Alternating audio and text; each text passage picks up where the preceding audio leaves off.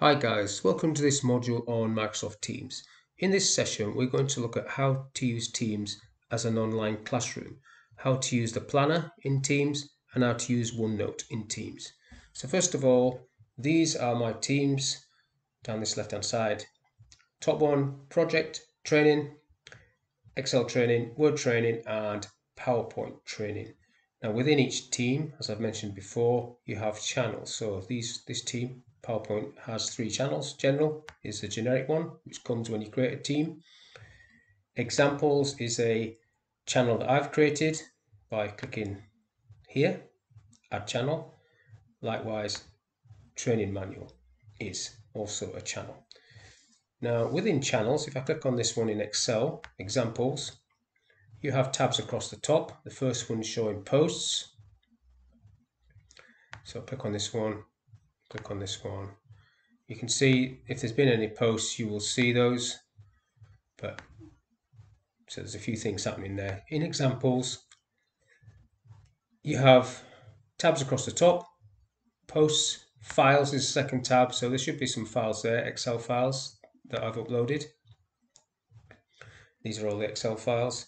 And then you've got a wiki that you can add some documentation there. And you can see there I've added a tab called Excel. So when I click onto this tab, it's loading up a particular file which I can um, set people off doing as an exercise. This is an exercise or practice file which I've set already. Now to do that, you just basically click on this little plus symbol, select Excel. Um, so I'll call this exercise one, and then from my list of Excel files, I find the file that I want, which happens to be that top one. Save that, and then it creates a tab. And when you open that tab, it shows you the exercise. So this would be the exercise that needs to be um, created by the class. It's already been completed, this one. And that would, could be another one. So you could have a few different tabs with different stages of your course um, populating across the top there. Now to create a channel, it's as simple as this. Down the bottom there, you create a channel. So create a team first and then build that from scratch. Um, public and then you give it a name. So this one is going to be physio training. You can fill this in if you want. Um, create and then you add people to your channel uh, to your team and then you add your channel. So let's add the people, Dave Jones.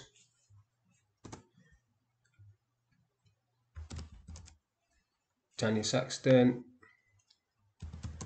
Ashley Hawksworth, and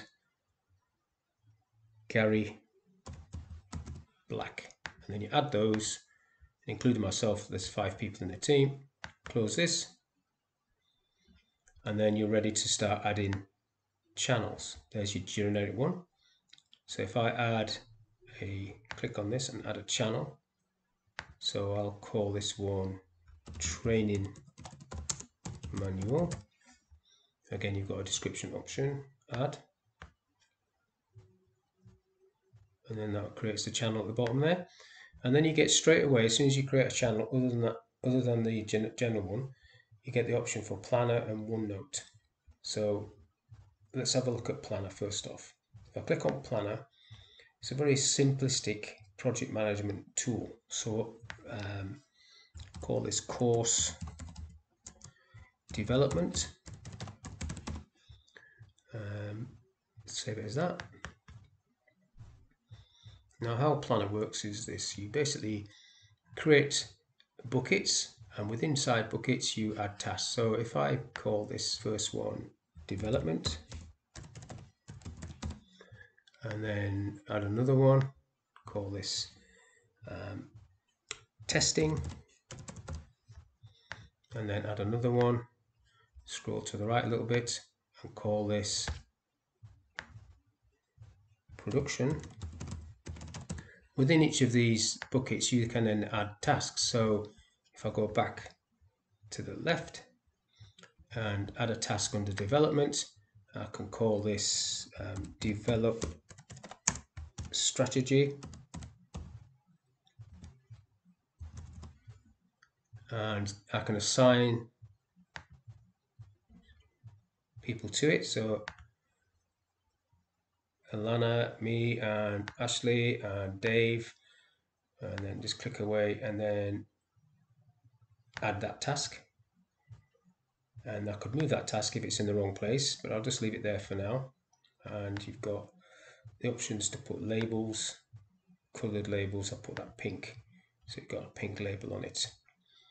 And you can complete that by ticking this option.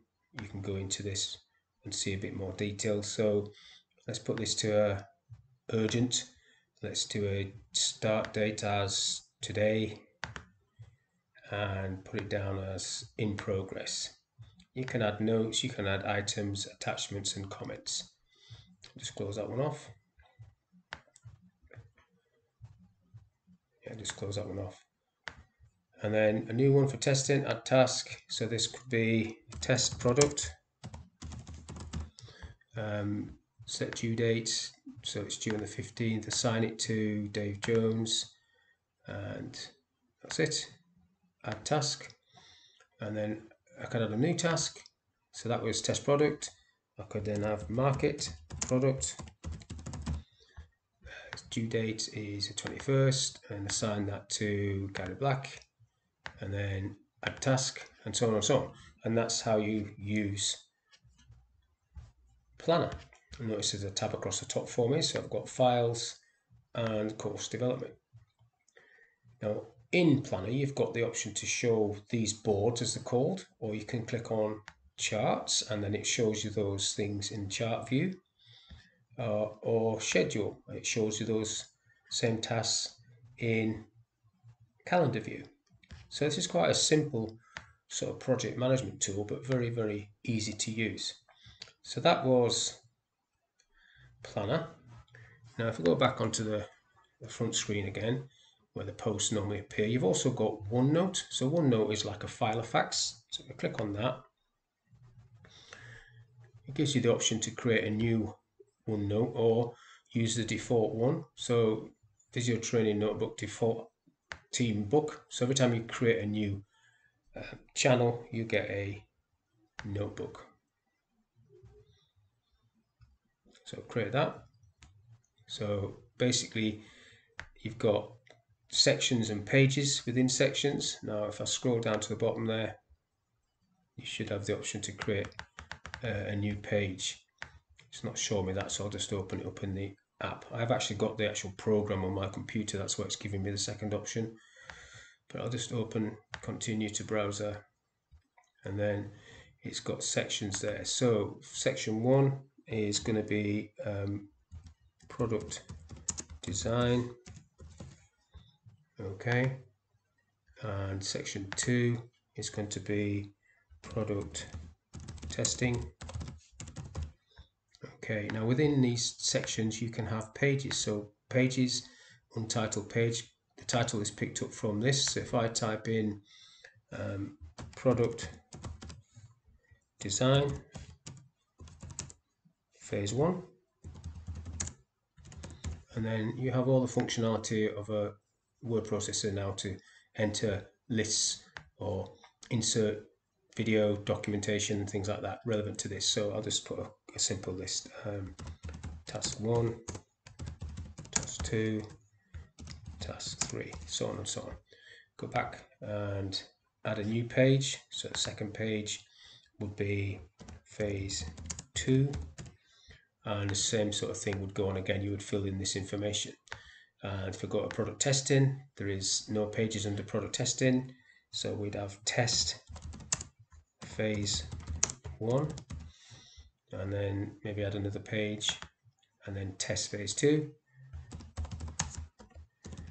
so you're building up your OneNote book by using sections and then creating the elements within the section, the pages within the section. And if you look at the top here, you've got the options to insert files. So insert as an attachment, so to choose a file, just pick any old file, that'll do. Insert, you can do that. You can insert pictures, insert from file, choose the file, So need to go from into examples and photos, Waterloo, my little dragoon. There he is, my little dragoon. And then insert that, brings that in. You've got links to files, bringing into audio, and so on and so on. All this is fairly straightforward. You've got drawing tools if you want to draw. Um, if you've got a pen, it would be a lot easier. Um, if you go back to view, you've got all this sort of stuff you can do on view and you can open this in the browser. And if you download the app, the complete program, um, you get a lot more functionality than this. So that is the OneNote, how that works. And obviously this is shared amongst the team and individuals can enter sections or edit sections and everybody will see that. Now, when you create a team, like we've just created Visio training, it automatically creates a group in SharePoint in Office 365. So if I just quickly go into Office 365, SharePoint, it should have created a group for me. Um, there it is, Visio training. And then you can see that. And all the other ones that I've already created, Project Word and Excel are already there. So you are automatically going to create this group in SharePoint and your notebooks and things through SharePoint. Okay, so this is one I did earlier, so it's just opened that same one. You can see that. So if I just go back,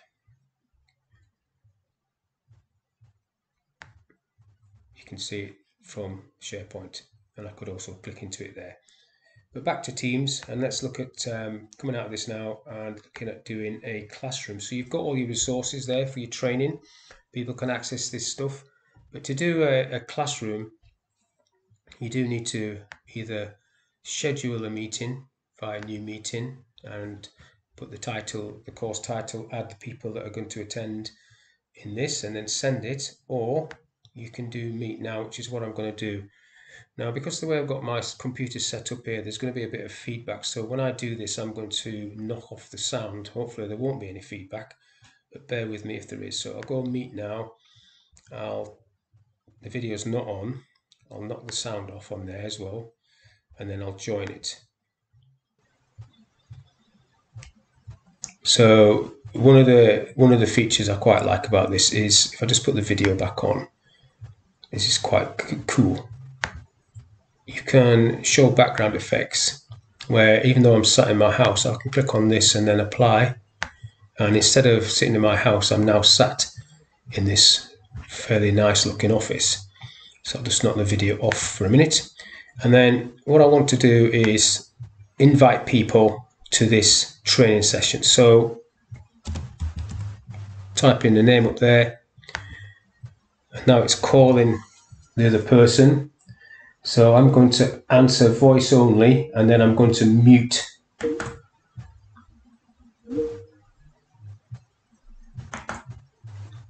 So I've muted the mic so it doesn't feed back, but you can see um, I can see Tanya there now in this meeting. So what I want to do is share my screen. So I'm going to share my screen. So we are going to look at Excel so I could get, if I do the desktop, that means they would have access or would see all my programs, which wherever I clicked. But I'm just going to click on Excel, so they're restricted to Excel. Now on um, Tanya's machine, she can see my screen exactly the same as this. So I'm typing away, and she can see exactly that. And then she should be copying me now in Excel, and I find out that she's not copying me. So what I need her to do is share her screen with me. So I need to stop. So you would be talking this through. So I need to stop sharing my, my screen. So I will stop sharing it by clicking on this little X there. So I've stopped and now she's going to share her screen. And she's going to click on Excel and then I should see her screen coming up and hopefully be able to show her and help her with the Excel if she's got any problems. Wait for it a second and here it comes. So this is her machine. Now, for me to help her, I need to potentially take control of her screen. Now, whether you've got this feature available or not is dependent on whether you came into Teams through the um, app, the desktop app, or whether you came into Teams through the online version. The online version does not allow you to take control. So I'll request control. She should get accept options at the top. Um, at the moment, it's not coming up, so she must have logged on via the web browser. So I'm not going to be able to get control of this, but I can still see her screen and I can still talk her through what the issue is. So basically, telling her to click into C2 um, or B2 and pull that across. Now, I'm just going to break this call for a moment. Hang up on the call. So I've come out of that and she's now no longer in that meeting. We both come out of that. We're back to Teams. So using this as a classroom is a very, very uh, good tool and you can have up to four videos at once on your screen if you want to see people. But like I've said before, if you have the video on, it uses bandwidth and then that can slow the connection down. If you have just the sound on, you still see the icons for the people. So you still know they're on there. And when they talk, their icon becomes active and you can share your screen and then they could share their screens and you can see if they're having issues or you can look at their screens if they're doing any exercises that you've pre-planned you can look at their screens and see if they're doing it correctly um, but that's the end of this session, and I hope you've enjoyed it, and thank you for your time.